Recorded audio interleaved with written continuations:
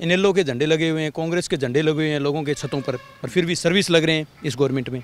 हमारा छोटा सा गाँव है, वहाँ भी पैंतीस बच्चे सर्विस लगे हैं। पुलिस पुलिस जो डिपार्टमेंट होता है, वो पहले के टाइम में देख लो कोई गाँव का मुखिया आदमी हो गया या कोई सीनियर इस पार्टी के इनेलो या कांग्रेस के हो गए, उनके कहने पे आती थी, अब की बार 112 डायल करो, जितने किलोमीटर दूर है, उतना ही टाइम लगता है। तो ये सुख सुविधाएँ प्रोटेक्शन वगैरह तो पार्टी ने दी है, इस पार्टी ने दी है ना? बीजेपी पार्टी का जो मेन मकसद है, वो अंत्योदय ही है। अंत्योदय का मतलब जो लाइन में सबसे पीछे खड़ा व्यक्ति है ना, उसका उत्थान करना ही हमारा, कौन चुनाव लड़ेगा, कौन नहीं लड़ेगा, ये संगठन ही तय करता है। और संगठन के नाते ही हम अपने पार्टी का प्रचार कर रहे हैं। तो हम भी दावेदारी तो रख रहे हैं भाई। भी एमपी की टिकट हमें दी जाए। अगर ना मिलेगी तो भी हम पार्टी में निस्वार्थ भाव से काम करें। नमस्कार, मैं प्रमोद और आप देखना शुरू कर चुके हैं दी सड़कनामा डॉट कॉम इस वक्त मैं मौजूद हूँ एलनाबाद में और मेरे साथ भारतीय जनता पार्टी के अनुसूचित जाति मोर्चा के प्रदेश कार्यकारिणी सदस्य हैं गणेश चावरिया जो पंचायत समिति एलनाबाद के वाइस चेयरमैन भी रहे हैं, जो कि इन दिनों जो है ये गांव-गांव में जा रहे हैं। और जैसा कि आप सब लोग जानते हैं कि 2024 क्योंकि ये चुनाव है इलेक्शन ये रहे ये। इसी साल है लोकसभा के चुनाव होने हैं इसी साल विधानसभा के चुनाव भी होने हैं। बीजेपी है वो अपने जो कार्यकर्ता है उन्होंने फ़ील्ड में उतार दिए हैं। चुनावी मोमेंट पे है वो भारतीय जनता पार्टी इस वक्त है। हमारे साथ इस वक्त गणेश चावरिया हम चर्चा करें सर पहले तो बहुत स्वागत आपका। प्रमोद जी आपका बहुत बहुत स्वागत है आपका भी। जी। अ, क्या कुछ कहना चाहेंगे जिस तरह से गांव-गांव में जा रहे हैं आप? अ, लोग क्या कह रहे हैं इस सरकार को लेकर के? देखिए जैसे जैसे हम गाँव में जा रहे हैं लोकसभा के हमारे पास आज हमने कर दिए करीबन 205 गाँव कर दिए। तो लोगों में जा रहे हैं तो लोग कह रहे हैं भी बीजेपी सरकार है वो स्पष्ट बहुमत से आएगी दोबारा। और हमारा मानना है कि अब की बार बीजेपी सरकार 400 पर। जी। हाँ। ये भी चर्चा चल रही है सोशल मीडिया पे भी कि जो है आप चुनाव लड़ सकते हैं। इस बात में कितनी सच्चाई है? चुनाव लड़ेंगे या संगठन में काम कर रहे हैं क्या? ऐसा है जी। हमारी पार्टी में ना कौन चुनाव लड़ेगा, कौन नहीं लड़ेगा, ये संगठन ही तय करता है। और संगठन के नाते ही हम अपने पार्टी का प्रचार कर रहे हैं। पीछे मैं प्रदेश कार्यकारिणी का सदस्य था एसी मोर्चे का, और यहाँ युवा मोर्चा का विशेष आमंत्रित सदस्य भी था मैं जिला का। और पंचायती राज प्रकोष्ठ है, उसमें भी मैं सह संयोजक रहा हूँ। तो करीबन बारह तेरह सालों से हम पार्टी में, अपने पार्टी के जो निर्देश होते हैं, उसके हिसाब से ही काम करते हैं। चुनाव लड़ना, ना लड़ना, वो पार्टी की जिम्मेवारियाँ लगाए, ना लगाए कहाँ एमपी का लड़ाएगी एमएलए का लड़ाएगी या ऐसे संगठन में हमें रखेंगे वो उन, उनके निर्देश अनुसार चलेंगे हाईकमान के जो संदेश होते हैं उन्हीं के आदर्शों का पालन करते हुए हम चलते हैं भाई साहब।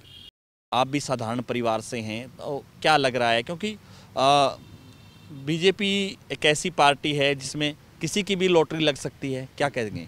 ऐसा है जी बीजेपी पार्टी का जो मेन मकसद है वो अंत्योदय ही है। अंत्योदय का मतलब जो लाइन में सबसे पीछे खड़ा व्यक्ति है ना उसका उत्थान करना ही हमारा मतलब मकसद है बीजेपी का नेशनलिज्म और अंत्योदय व्यक्ति सबका साथ सबका विकास इस विचारधारा को लेकर के पली बड़ी पार्टी है ये और इसी विचारधारा को लेकर हम इसमें संगठन में काम कर रहे हैं बढ़िया सिस्टम से। जी। हाँ। तो हरियाणा की जो सरकार है उसको लेकर के क्या कहेंगे? किस तरह से काम काज चल रहे हैं? सरकार को लेकर के लोग क्या सोचते हैं? जैसे गाँव गाँव में आप जा रहे हैं तो लोग हैं वो आ, क्या करेंगे? हरियाणा की सरकार को लेकर के ऐसा है जी जैसे मोदी सरकार तीसरी बार वैसे ही मनोहर सरकार तीसरी बार।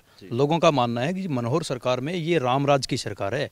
इसमें शांतिपूर्वक तरीके से सब काम होते हैं चाहे वो पार्टी का हो चाहे ना हो ये इसकी खासियत है। अगर गलत करेगा तो उसके साथ ये पार्टी मतलब सेटिस अगर वो गलत करेगा पार्टी के रिगार्डिंग कुछ भी तो उसके साथ ये नहीं रहेगी पार्टी। मतलब उसको उसको सपोर्ट नहीं करेगी। और जो गलत नहीं करते हैं, चाहे वो एनएलओ पार्टी का हो, कांग्रेस का हो बीजेपी का हो तो अगर वो गलत मतलब हमारी पार्टी का नहीं है, फिर भी हम उनको बेनिफिट देते हैं। आप देख रहे हो जैसे सर्विस में लगे हैं बच्चे, या जिसको अनाज मिल रहा है, और मिल रहे हैं तो उसमें हम भेदभाव नहीं करते भी कौन कौन सी पार्टी का कौन सी का नहीं है। एनएलओ के झंडे लगे हुए हैं, कांग्रेस के झंडे लगे हुए हैं लोगों के छतों पर, और फिर भी सर्विस लग रहे हैं इस गवर्नमेंट में। हमारा छोटा सा गाँव है, वहाँ भी पैंतीस बच्चे सर्विस लगे हैं। तो ऐसा है भाई तो साहब सबका साथ सबका विकास है इस तो ये ये एक इस बार ये बड़ा इशू है कि जो पारदर्शिता के आधार पे जो नौकरियाँ लग रही हैं ये चुनाव में बड़ा इशू होगा ये कि जो रोज़गार मिला है? नहीं इशू तो इस पार्टी ने ना बीजेपी में आप देख लो आज से दस साल पहले की सिचुएशन स्थितियाँ थी लोगों के प्रति मतलब जो भी था वो देख लो आज देख लो रात दिन का फ़र्क है भाई साहब। पुलिस पुलिस जो डिपार्टमेंट होता है वो पहले के टाइम में देख लो कोई गाँव का मुखिया आदमी हो गया या कोई सीनियर इस पार्टी के इनेलो या कांग्रेस के हो गए, उनके कहने पे आती थी, अब की बार 112 डायल करो, जितने किलोमीटर दूर है, उतना ही टाइम लगता है। तो ये सुख सुविधाएँ प्रोटेक्शन वगैरह तो पार्टी ने दी है। इस पार्टी ने दी है ना? तो लोग मतलब प्रशंसा तो कर रहे हैं और दिल से साथ हैं लोग, बीजेपी पार्टी के साथ हाँ।